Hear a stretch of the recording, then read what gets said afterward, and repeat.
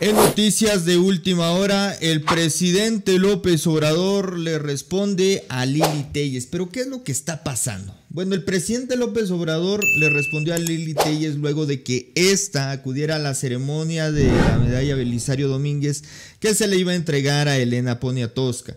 Y en ese sentido acudió al recinto cuando se encontró con Adán Augusto López Hernández y Jesús Ramírez Cuevas, pues fueron increpados por nada más y nada menos que Lili Telles quien ella pues eh, se vanaglorió el día de hoy precisamente de haber eh, llegado con Jesús Ramírez Cuevas e increparlo, ¿no?